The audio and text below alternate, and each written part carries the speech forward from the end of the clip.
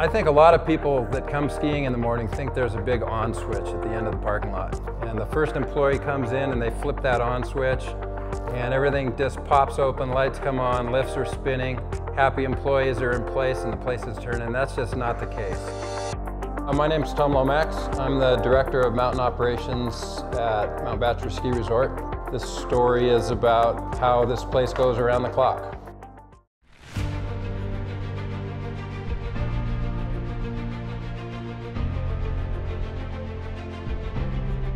Mountain All Call.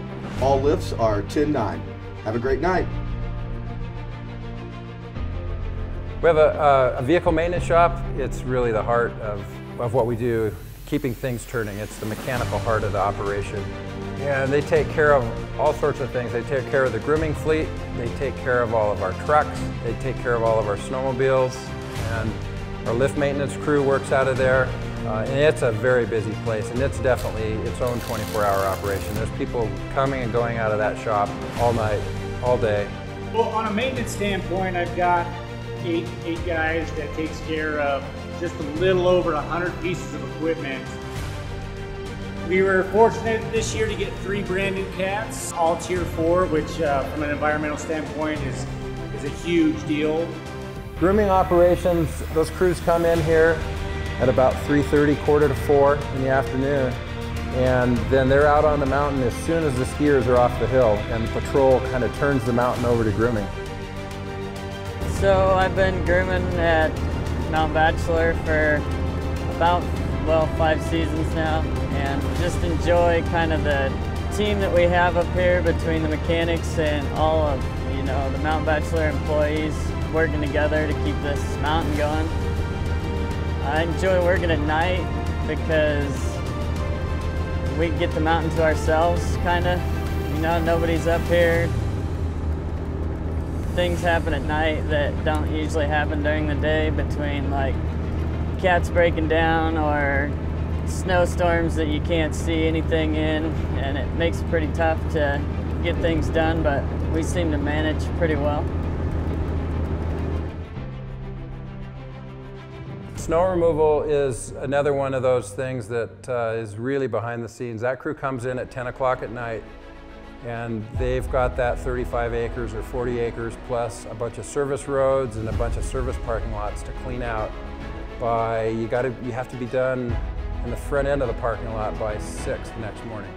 It can be really stressful. Yeah. You sit there and work on a really stormy night where you can't see and you're pushing snow and it doesn't seem like you're getting anywhere. Then towards the morning, you finally start seeing the wall and it's like, oh, we're almost done, finally. But then you look at what's filled in behind you and then you're in trouble. You got to start again.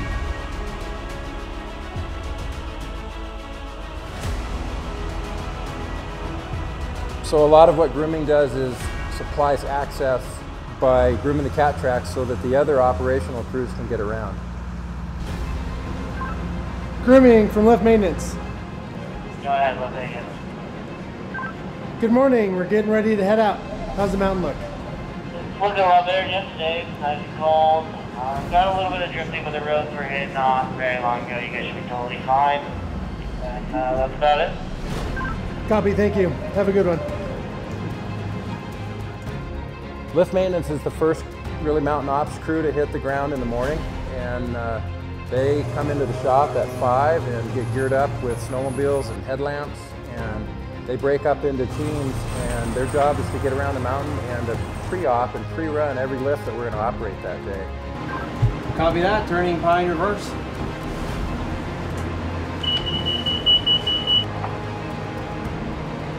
Yeah, tower fault, tower 17. Um, it won't reset, so can you get eyes on it and I will bypass. Yeah, it's the RPDs. That's really common. So it was just the ice that lifted the rope and made that clearance on the RPD not see the rope anymore. So it's just until we get that ice cleared off and now you can see it's it's clear and we can take the bypass off. R26, Tower 17's bypassed, quick remove.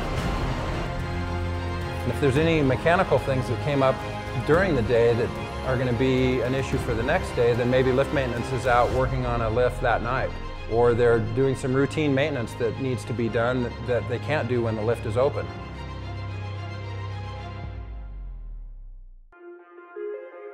So patrol comes up, um, they've got a couple of different modes. On a, on a regular morning, they head out on the hill uh, with the lift ops right at 8, and that's kind of our staff upload time. And then they have a whole variety of, of chores that they're doing in the morning. Skiing runs, looking for hazards, they're setting up uh, fencing and, and, slow signs and that kind of thing. They're assessing what kind of safety situations there could be with whatever the day is giving us for conditions. And then when we're in avalanche conditions, they'll come in earlier. Colleen and Robbie are gonna do our east route. Tanner and I are gonna be on the low route and Drew, you and Tyra the high rep. This is a two pound cast booster. It's a made of an explosive called PETN. Um, it's pretty fast explosive. It detonates at 25,000 feet per second. We're arming it with a 90 second cap and fuse assembly. So this is igniter. We put that on the end of it. We pop our safety wires and pull our cap off and we pop the igniter. It spits out a spits out a directional spark that starts a burn. You can see the smoke, smell the smoke unless it's really windy. So we've got a little wind slab pillow sitting up here. We're gonna use this string line to tram it down. Tanner's shot placement sounds like he's gonna go for the shallower spot on the other side of the breakover, see if we can't knock the legs out of it. Go. You can see the size of the ride someone would go on, so it's our job to confirm that that's not gonna happen. So now Tanner's gonna just jump on this pillow here. He's got his float bag on, if there were a big slide.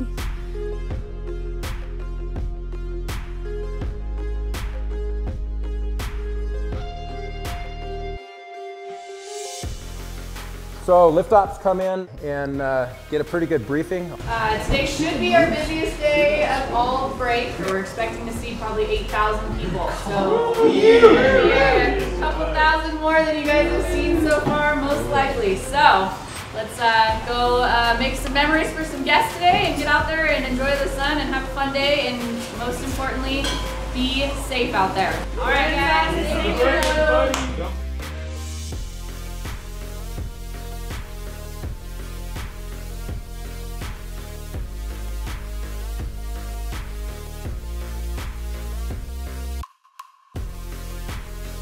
So we also have a group of terrain park crews and they're, they're tasked with building, grooming, and operating the terrain parks. Within the terrain park, we've got 18 employees. We run five to seven people a day during the day, and then we're running six to seven people at night, depending on the storm cycle and what events we have going on and what builds we're working on.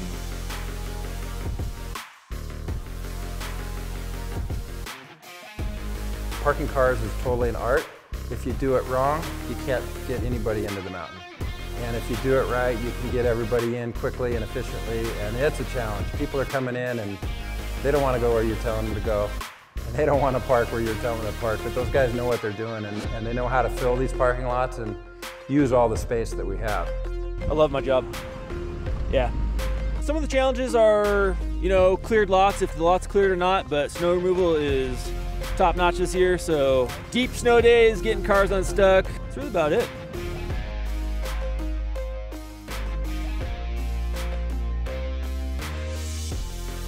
This is the 855 Mountain All Call.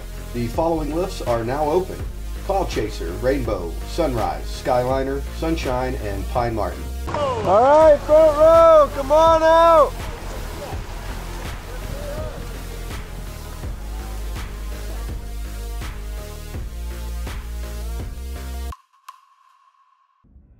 My name is Sue Foster. I manage the Nordic Center here. I've been here for eight years and um, I love my job. We are a mini resort within a resort. Uh, we basically have all the services of, the, of our sister across the parking lot, um, but on a small scale. And we ski uphill.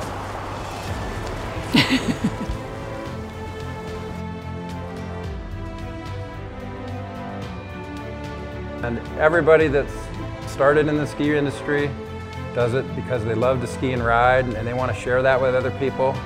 My best days are days when it's just an incredible powder day and I see all sorts of friends up here on the mountain having the best day of their lives and that's the greatest day for me.